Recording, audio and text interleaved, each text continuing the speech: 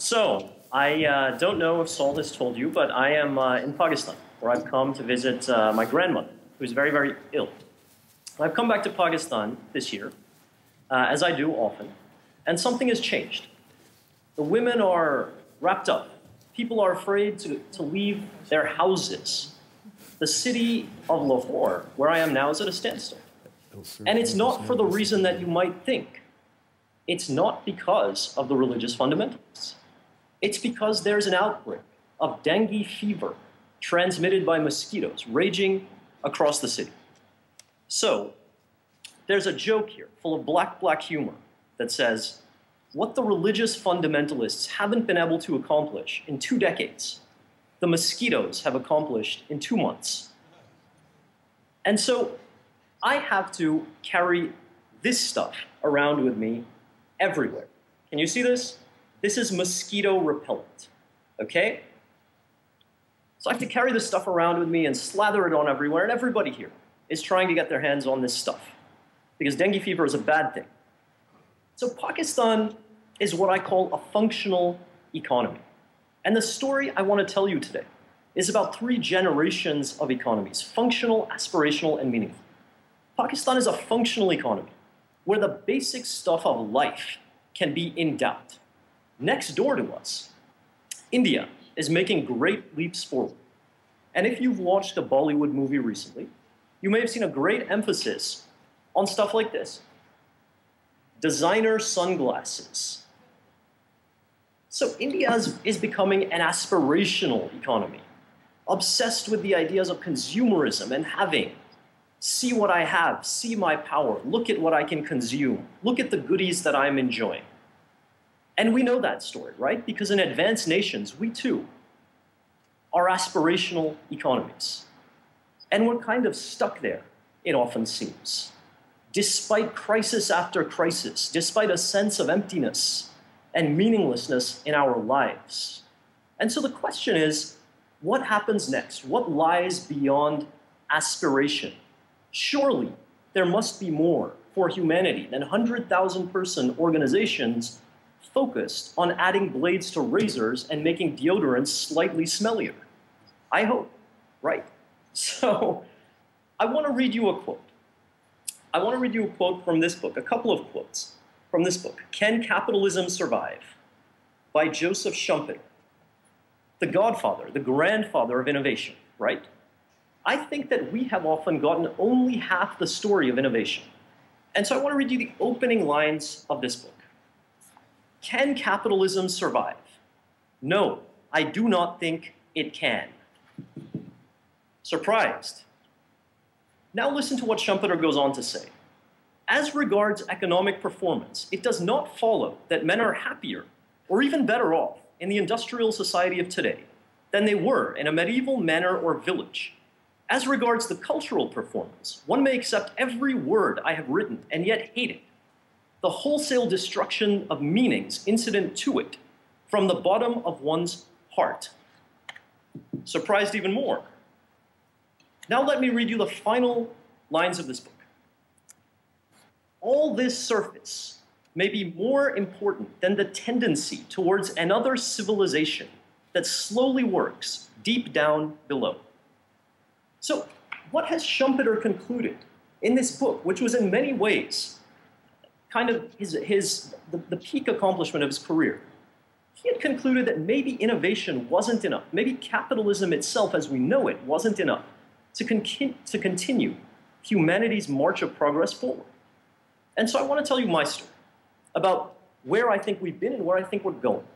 What is it that we do in this room, whether we are teachers or students or doers or thinkers? My guess is that we are practitioners and perhaps partisans of a paradigm that I call opulence. And I'll sum up opulence for you this way more, bigger, faster, cheaper, nastier now. And I believe that if you think about it, we can trace the history of the last hundred years of economic progress through the outlines of this paradigm.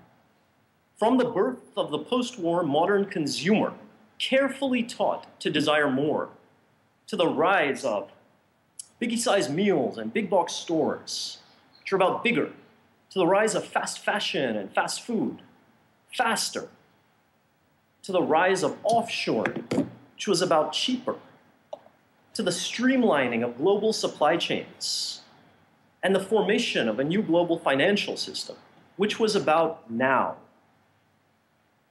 And so I think we are practitioners of this paradigm that I call opulence. But at the same time, I bet, like me, you are becoming ever more aware of the costs of this paradigm.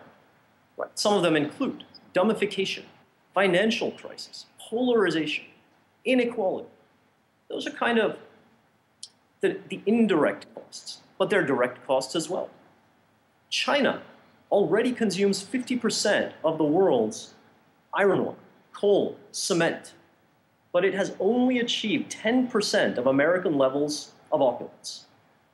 And so the truth may be that the world cannot afford opulence, that it's time for us to take a quantum leap forward. I believe that we stand in the rubble of what I call an opulence bubble. And I believe that the future is going to be eudaimonic. Eudaimonia, the ancient Greek word for a life meaningfully well lived. So if opulence is about more, bigger, faster, cheaper now, what is eudaimonia about? Well, I think eudaimonia is not about stuff. It's about people.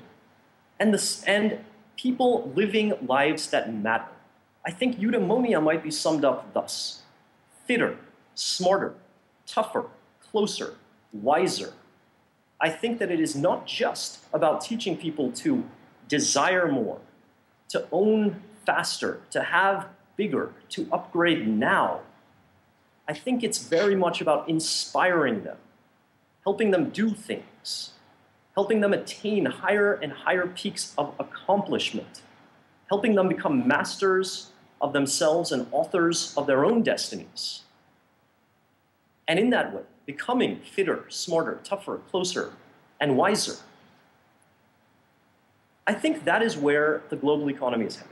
So I think the truth is we cannot afford opulence any longer. And I think that when we go back in history and we look at the great thinkers of the past, whether they were Schumpeter or Marx or Adam Smith, many of them understood that something was deeply amiss with the way that capitalism might end up evolving. And I think we stand on the cusp of that transition now. So let me sum it up for you this way. In a first generation economy, our role is to help people in their quest for subsistence, survival, in a functional economy. That's what this is my little bottle of mosquito repellent that keeps the mosquitoes at bay. In an aspirational economy, our role is to help people in their quest for affluence. See my power, look at what I can consume. But in a meaningful economy, a eudaimonic economy, our role is to help people in their quest for significance, to live lives that matter, to have experiences that count, to become smarter, fitter, wiser, and closer, not just to accumulate more stuff. And I think the great challenge of the next decade will be building eudaimonic institutions. Everything from corporations to jobs to GDP to a new global financial architecture itself. I don't think this will happen overnight. I think it will take at least a decade, if not more. But I do think that unless we take a eudaimonic transition, a great leap into the future now, the future will continue to look like it does today. Thank you very much. Uh, I hope you enjoyed my talk.